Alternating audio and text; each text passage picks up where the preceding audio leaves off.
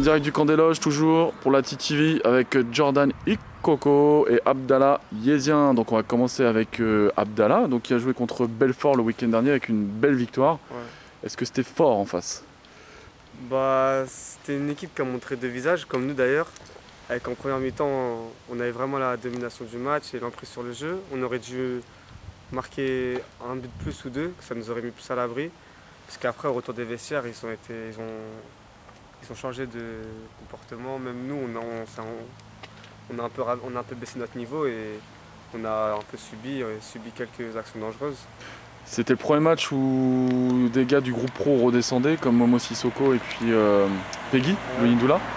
Euh, ça fait quoi de jouer à leur côté? Est-ce que tu as eu la sensation qu'ils se sont donnés à fond euh, Ouais, pour la CFA. Ouais, ils jouent le jeu. Bah, surtout que pour eux aussi, de, le fait que Momo il revienne de blessure, faut qu'il qu'il reprenne du rythme, il peut pas se permettre de, de gérer. Et Peggy qui n'a pas joué depuis longtemps aussi, ils sont obligés de, de se donner quand même pour, euh, pour s'entretenir aussi. D'accord. On, va- on vient avec Jordan qui euh, lui a participé à, à la défaite face aux Lillois, la première de la saison, donc il y a- il y a- c'est pas la crise non plus.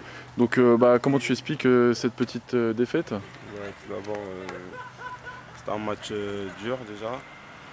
Dès, le- dès l'entame, ils nous ont mis la pression. On a mal euh, débuté. Ils ont marqué un but euh, vers la dixième minute. On a, su réagir, mais c'était un peu trop tard. hein. Et deuxième mi-temps, euh, on est bien rentré dans le match. On a marqué.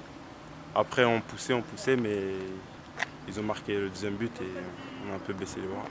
Bon, le programme, c'est- l'actualité c'est euh, l'Italie.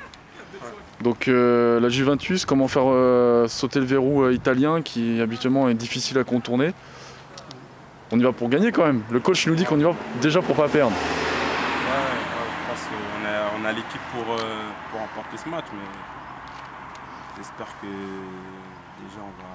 Comme ça fait longtemps qu'on n'a pas joué ensemble, il y en a ils sont en CFA, il y a Adrien qui redescend, il est en pro, donc donc, euh, j'espère qu'on va amener un bon petit résultat. Un bon petit résultat. Et toi Abdallah, tu penses que c'est jouable là-bas? Ouais, c'est jouable. De toute façon, on- si on joue ensemble et, et qu'on s'occupe que de l'équipe, on, on peut battre tout le monde. hein.